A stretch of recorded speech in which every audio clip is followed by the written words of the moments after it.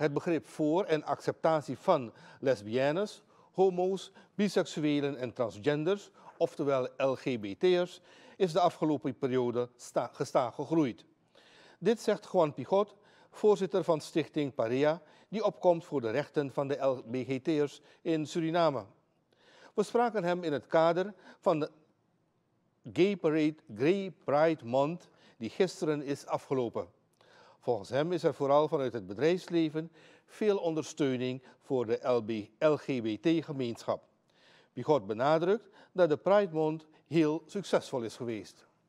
Ik denk overwegend positief. We hebben, dat verklaarde ook um, de, de bezoekersaantallen. Als je kijkt bijvoorbeeld naar uh, de Pride, op af, dat af, was afgelopen zaterdag.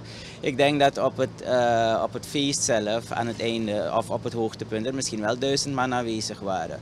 Uh, en dat waren zeker niet allemaal LGBT-mensen. Dus dat was eigenlijk gewoon een, een activiteit die door de hele samenleving wordt gedragen. Dus um, ook bij het filmfestival um, waren alle dagen eigenlijk vol. Uh, het was in Theater Uniek uh, elke woensdag de afgelopen maand. Dus ja, al met al goede, goede bezetting, goede opkomst en goede reacties. Je blijft de nadruk leggen op de Pride Walk. Was dat het hoogtepunt van de afgelopen maand? Uh, ja, ik denk dat dat inderdaad altijd wel uh, over de hele wereld waar de, de Pride wordt ge, uh, gevierd en georganiseerd, dat de Pride Walk het hoogtepunt is uh, van de dag, van, of van de periode. Pigot stelt dat zijn organisatie blijft vechten voor gelijke rechten voor iedereen.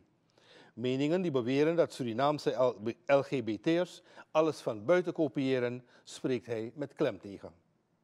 Mensen denken dat we om iets speciaals vragen. We vragen helemaal niet speciaals. We vragen gewoon dezelfde rechten als onze heteroseksuele landgenoten.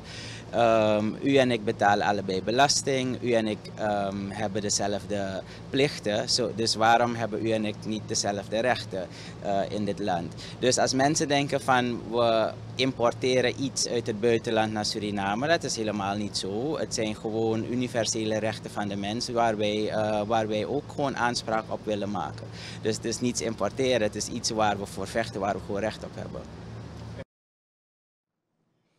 Juan Pigot, voorzitter van stichting Parea. Deze stichting komt op voor de rechten van lesbiennes, homo's en transgenders in Suriname. Pigot is tevreden over het verloop van de Gay Pride Month die gisteren is afgesloten.